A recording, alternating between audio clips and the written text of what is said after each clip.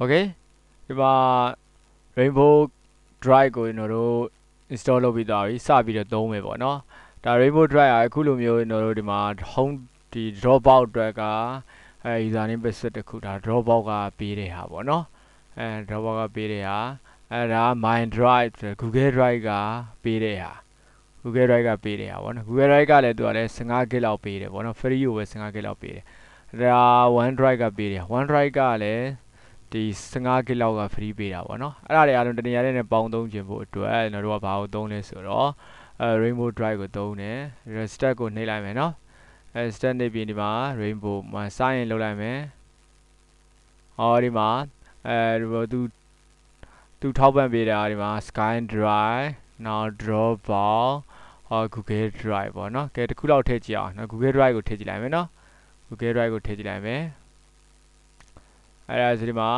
Google ကိုလမ်းချိတ်ပြီပေါ့နော် connecting to a service ဆိုပြီးတော့ Google service ကိုလမ်းချိတ်ပြီဟောဒီမှာ email တောင်းတယ်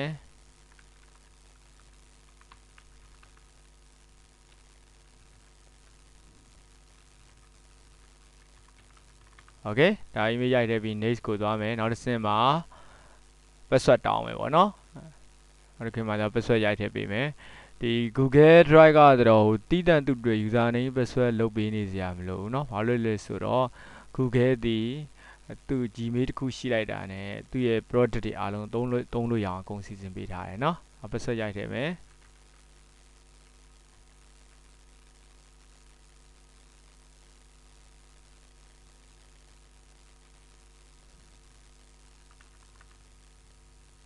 โอเคစားရင်နေလိုက်မယ်နော်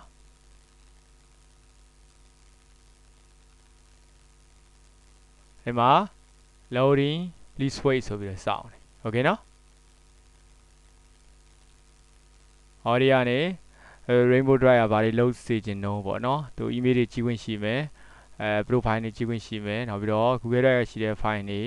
ဟိုကြီးခွင့်ရှိမယ် manage လုပ်ခွင့်ရှိမယ် view and manage ခွင့်ပြုမယ်ဟုတ်ပြီခွင့်ပြုမယ်ဆိုရင်အလောင်းကိုနှိပ်လိုက်မယ်နော်โอเคဒါဆိုရင်ဒီ rainbow drive မှာ google ကို ထည့်ပြီးသွားပြီโอเคเนาะအဲဒီအားကိုကျွန်တော်တို့က okay နေလိုက်မယ်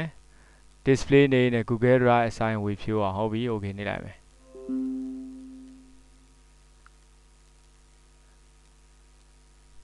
ဒီမှာ Google Drive စပြီးတော့ဟိုဖြစ်နေပြီပေါ့နော်အားလုံးသူကလည်း Google Drive ကဘယ်လောက်ပေးတော့အဲဒီ50 gig ပေးတယ်ပေါ့နော်50 gig ပေးတယ်โอเคနောက်ထပ် account တစ်ခုလိုက်ထည့်မယ်ဆိုလေအဲခုနအတိုင်းပဲလိုက်ပြီးတော့ထည့်ရုံပဲโอเคနော်